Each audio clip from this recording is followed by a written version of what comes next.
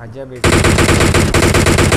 बे peak दिलं बे कुठून कुठून बे स्कोप असेल तर द्या बे स्कोप द्या त्या- त्या- नॉक बे नॉक झाला तो।